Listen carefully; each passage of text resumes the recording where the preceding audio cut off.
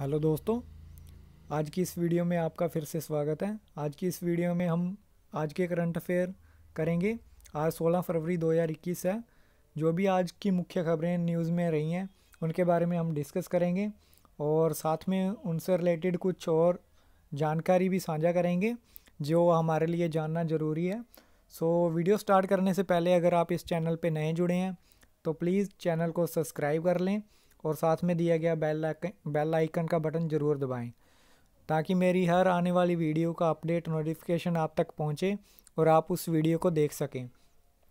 सो so, चलिए video start करते हैं। वीडियो स्टार्ट करने से पहले लाइक ज़रूर कर दें वीडियो को। देखते हैं आज की इस वीडियो में पहला क्वेश्चन क्या है। कौन भारतीय महिला ऑक्सफोर्ड के छात्र संघ की प्रमुख बनी है? ऐसी कौन सी भारतीय महिला है जो ऑक्सफोर्ड के छात्र संघ की प्रमुख बनी है। इसका नेम है रश्मि सामंत, जो ऑक्सफोर्ड की छात्र संघ की प्रमुख बनी है। नेक्स्ट क्वेश्चन देखते हैं।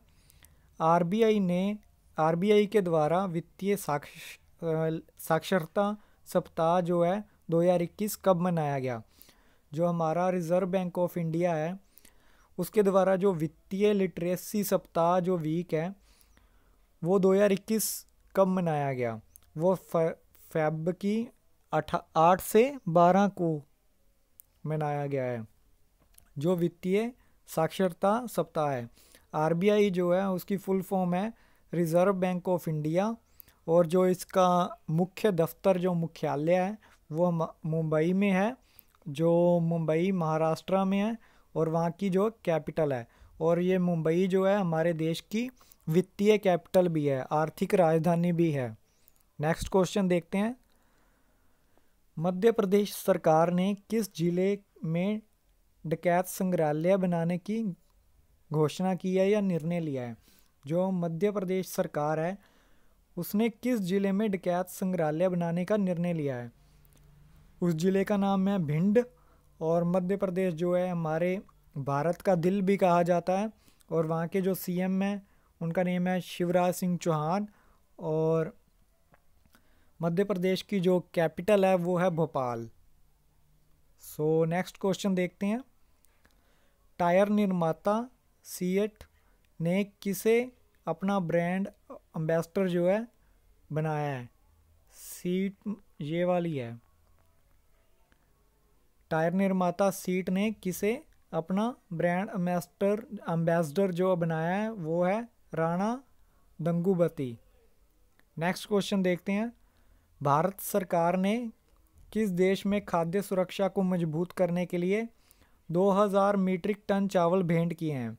जो हमारी इंडिया गवर्नमेंट है, उसने किस देश की खाद्य सुरक्षा को मज़बूत करने के लिए 2000 मीट्रिक टन चावल जो हैं, भेंट किए हैं?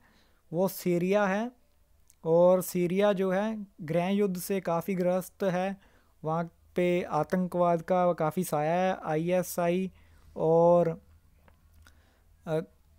और भी आतंकी संगठन हैं जो सीरिया को तबाह करने के लिए तुले हुए हैं। संयुक्त राष्ट्र की हालिया रिपोर्ट में भी ये आया है कि सीरिया को एक गृह युद्ध क्षेत्र में बदलने की कोशिश की जा रही है और वहाँ पे काफ़ी सारे आतंकी संगठन जो हैं, वो फिर से इकट्ठा हो रहे हैं। सो, नेक्स्ट क्वेश्चन देखते हैं। मारियो द्रागी किस देश के नए प्रधानमंत्री बने हैं? आपको नेम याद रखना है, मारियो द्रागी। ये इटली के प्रधानमंत्री बने हैं। इटली जो है, यूरोप महाद्वीप में स्थित एक देश है और जो इटली की राजधानी है, जो कैपिटल है, वहाँ की रोम है उसका नेम नेक्स्ट क्वेश्चन देखते हैं। किस राज्य सरकार ने 16 लाख से अधिक किसानों के लिए फसली ऋण माफ़ी योजना जो है, शुरू की है? ऐसी कौन सी भारत की स्टेट गवर्नमेंट स्टेट गवर्नमेंट है, जिसने 16 लाख से अधिक किसानों के लिए फसली ऋण जो है उसकी माफ़ी की योजना शुरू की है।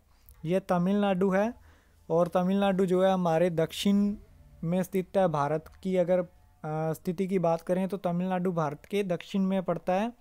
अगर ये भारत का दक्षिणी हिस्सा है तो यहाँ पे तमिलनाडु स्थित है और यहाँ पे केरल स्थित है। इस साइड केरल है और इस साइड तमिलनाडु है। और जो तमिलनाडु की कैपिटल है, उसका नेम है चेन्नई और जो वहाँ के गवर्नर हैं, उनका नेम है बनवारी लाल पुरोहित और जो वहाँ के सीएम हैं, उनका नेम है के पलानी स्वामी नेक्स्ट क्वेश्चन देखते हैं। किसकी पुण्यतिथि पर भारत में समर्पण दिवस के रूप में मनाई गई है? किसकी पुण्यतिथि जो है, भारत में समर्पण दिवस के रूप में मनाई गई है? इनका नेम है दीन दयाल उपाध्याय। और ये दीन दयाल उपाध्याय कौन थे? ये भारतीय जनसंघ के अध्यक्ष थे। बाद में इन्होंने भारतीय जनता पार्टी, बीजेपी को स्थापित किया और इन्होंने एक विचारधारा दी, जिसका नेम है देश को एकात्म मानववाद नामक की जो विचारधारा जो है इन्होंने दी। नेक्स्ट क्वेश्चन देखते हैं। वोल्वो कार्स इंडिया ने किसे अपना प्रबंध निर्देशक नियुक्त किया है? जो वोल्वो कार्स है, इंडिया ने किसे अपना प्रबंध निर्देशक नियुक्त किया है? इसका नेम है ज्योति मल्होत्रा। नेक्स्ट क्वेश्चन देखते हैं। मुस्कान जो है, किस राज्य में सबसे कम उम्र की जिला परिषद अध्यक्ष जो है, बनी है? हाल ही में जो नगर निगमों के चुनाव हुए हैं या पंचायती चुनाव हुए हैं, हिमाचल प्रदेश में, उनमें जो मुस्कान नेम की एक लड़की है, वो सबसे कम उम्र में जिला परिषद की अध्यक्ष बनी है। हिमाचल प्रदेश में। आज की इस वीडियो में इतने क्वेश्चन थे। होप आपको वीडियो पसंद आई होगी। मिलेंगे नेक्स्ट वीडियो में। नेक्स्ट डे के करंट अफेयर के साथ। तब तक के लिए चैनल को सब्सक्राइब करें लाइक करें वीडियो को शेयर करें।